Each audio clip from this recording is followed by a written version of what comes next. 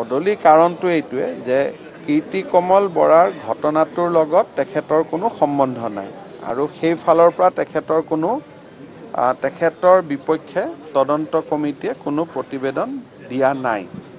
কিন্তু টিভি বা আন সাংবাদিকৰ আগত প্ৰেছ কনফাৰেন্স কৰি তদন্ত কমিটিৰ প্ৰতিবেদনটোক অলপ হেয় কৰিব যদি কোনোবাই খোজে তেতিয়াহ'লে অলপ ভাল নালাগে।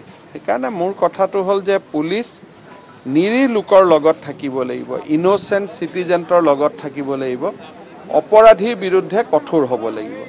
কিন্তু অপৰাধীৰ বিৰুদ্ধে কঠোৰ হওঁতে যদি সাধাৰণ নাগৰিকৰ বিৰুদ্ধেও আমি কঠোৰ হৈ যাওঁ আমাৰতো গোটেই উদ্দেশ্যটোৱে ডিফিট হৈ যাব। আমাৰ গোটেই এই কামবিলাক আমি কিয় কৰি আছোঁ যাতে সাধাৰণ নাগৰিকক আমি ৰক্ষণাবেক্ষণ দিব পাৰোঁ? কিন্তু তাৰ পৰিৱৰ্তে যদি সাধাৰণ নাগৰিকে কষ্ট পায় সাধাৰণ নাগৰিকে যদি পুলিচক বেয়া পায় তেতিয়াহ'লেতো মোৰ গোটেই কষ্টটোৰে মিনিং নোহোৱা হৈ যাব। সেইকাৰণে অসমৰ আৰক্ষীৰ প্ৰতি মোৰ এটাই মেছেজ যে নিৰীহ লোকক একেবাৰে একো নকৰিব। লাগিলে কোনোবাই আমাক গালি পাৰিলেও দুটা গালি শুনি লওক।